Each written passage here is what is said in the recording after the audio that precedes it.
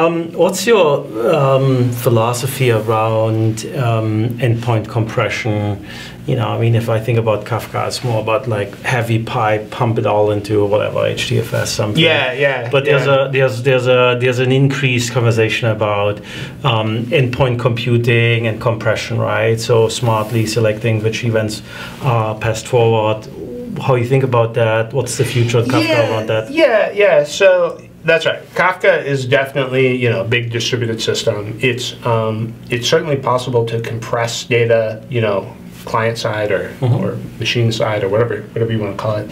I, I've heard a lot of interesting ideas about pushing a lot of computate like pre-computation there.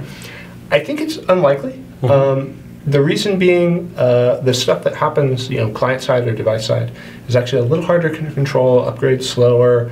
Um, if all you're getting is kind of pre-aggregated data out of that, it's a little hard to know what happened. Right. Um, and so, it, like, to me, the analogy from the web space would be mobile, Mhm. where yeah, I mean, people definitely pay close attention to bandwidth usage and all that kind of stuff, but you still want to know what You want, you want to have, yeah, I mean, what, what, we offering a big data analytics solution. Right, right. We love every single event, Right, right? right. We rather we want to do it uh, cluster side. That's right. So, so I think we'll get very efficient about you know compressing data and sending it out from Mhm. devices. I think it's unlikely that we'll move a significant portion of the processing to that device side, run it there, and send back only Mhm. results or something. And I Yeah. think the reason for that is it's very hard to use the resulting data. So it's very hard to do a kind of what if Mhm. scenario. It's very hard to know if you Sure. improved your processing in some way. What that time series like. analytics, whatever. And so- Yeah. Okay. Also, there's different schools, uh, schools of thought out there, right? And it's kind of getting almost this classical emotional conversation about C++ versus Java, Mac versus PC. See, you know, so uh, it was kind of interesting. Um, Spark. Yeah, Right? So. yeah. Um, you know, obviously we all know Spark doesn't have checkpoints, so they need to borrow a lot of stuff that you guys build it um, and deeply integrate it. Where, where do you guys stand with that? Are you involved in that opportu- um, in that integration, or how you guys think about that? Yeah, so I mean, I guess the way Kafka and Spark meet is really for Spark streaming. Um, the you know, I think Kafka's role in this kind of streaming ecosystem is to try and serve everybody who processes streams in different ways. So applications, different layers on top. You know, hopefully query languages. I, I, I think this area of streaming data is going to end up very rich. Um, so for Spark, yeah, we, we, we meet with the Spark guys. We're, we're trying to get you know uh, security end to end and integration with Kafka. Trying to get them onto kind of the new uh, producer and consumer APIs, which are a little better than what they you know the older APIs we had. Um, and Kafka does support a kind of compacted topic for journaling state. Um, you know, the, that primitive is definitely use, useful for stream processing.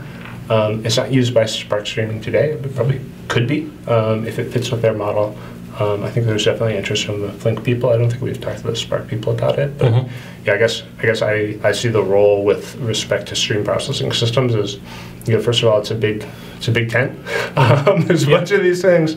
Most of them are kind of about maybe 10 or 20 percent of what you would really want in the end state out of a real time computation layer. Mhm. Um, but as this whole area evolves, I think our role is to try and make you know make sure that we have the right primitives to support these different things. The way Kafka supports that today is by really trying to you know support the the notion of journaling changes. So if you imagine this type of log, uh, we gave the example of page views. Page views don't change. If you viewed a page, Right. you viewed a page, it's written here. Um, one of the things we thought pretty closely about um, a while back was what does it mean when you're journaling updates? Like you know, if you if you journal the state of your user table, your users update their accounts over time, um, and so what you have here is is no longer these kind of immutable events, but rather, you know, hey, my user record is currently this. My user record is currently this. And that's exactly what you need to be able to do any kind of stateful computation. So aggregates, joins, anything that has you know scope beyond a single message, and that's obviously most of the interesting stuff in stream processing. Um, and so we, we built that into Kafka intentionally with the idea of, of supporting that, and it's there for anybody who you know wants to use it.